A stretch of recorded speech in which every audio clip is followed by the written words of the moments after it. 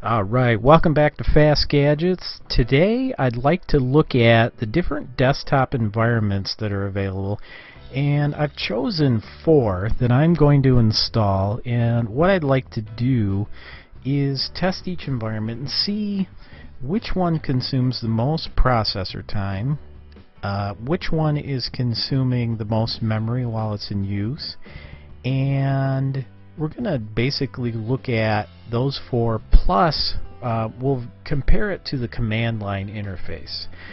Um, right now I have uh, KDE Plasma installed and I have uh, GNOME installed. What I'm doing right now is installing um, XFCE, Cinnamon, and well those are all I need so I only need to install those two so now I'm doing Cinnamon and the install is going very well. Um, I'm really glad how fast things go with the installer uh, when using DNF. It does help to have a fast internet connection, of course. So once we get these two uh, installed, what I'm going to do is I will log off each one and log back on to each desktop environment.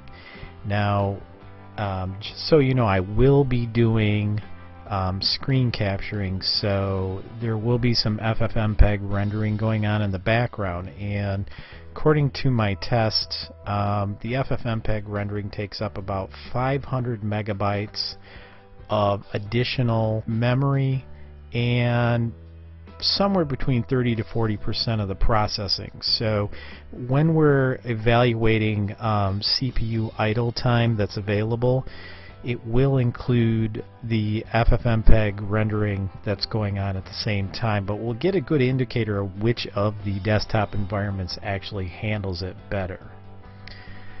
So before I start with the desktop environments, the thing that I'd like to do is find out the command line interface only, which is used to be called run level 3. Of course it's not anymore, but I can still use um, some of those commands that are available and it's just easier to type this command out than the systemctl commands so I'm gonna run init space 3 and this will send me to command line interface only. No graphical interface. No X11 no Wayland nothing.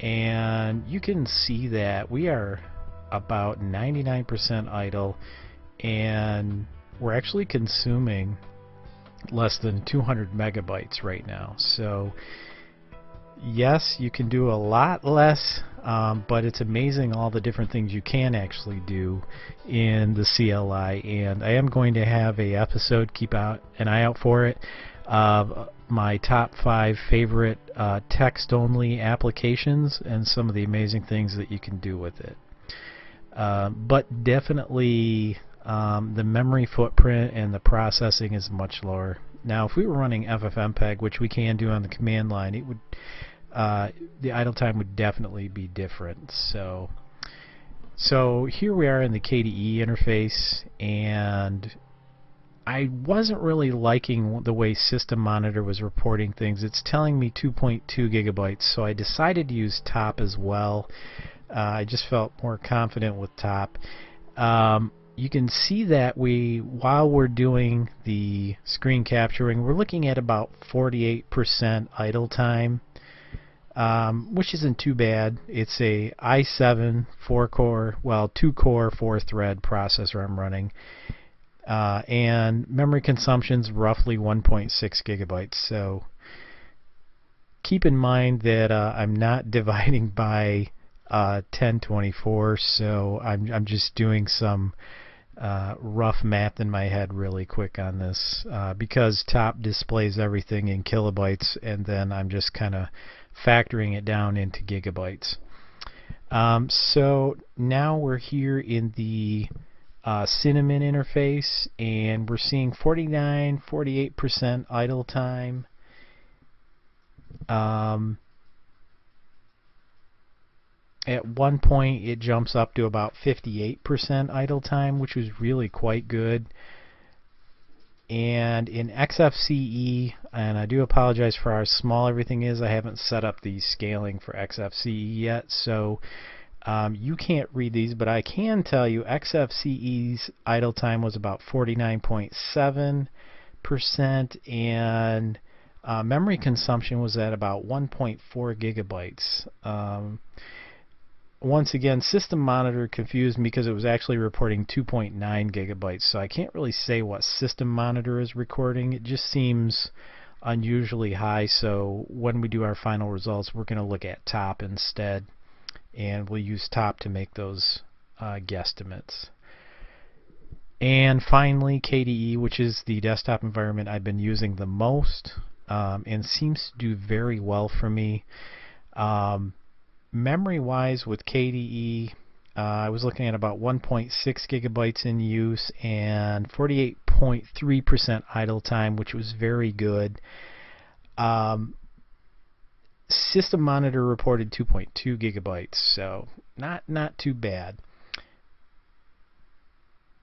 Now here was a strange thing. When I ran GNOME look what it reported 3.8 gigabytes in system monitor. But if you look at top um, it's reporting um, idle times between 40 to 48 percent. Memory consumption was about 1.7, and I did round up. Alright, let's have a look at the final results here for our desktop environment testing.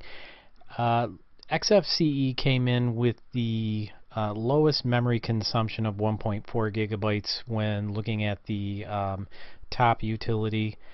Um, system monitor, I had some unusual results from. You can see with uh, GNOME, it actually was reporting 3.8 gigabytes. So, as I mentioned before at the beginning of the video, I'm definitely using uh, top as my memory consumption um, to go by. Uh, KDE did very well at 1.6 gigabytes.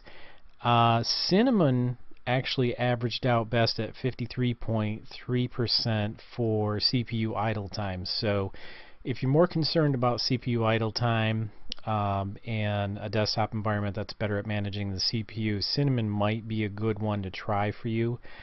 Uh, do keep in mind that these idle times included the um, FFmpeg rendering that was taking place when I was doing my screen capture.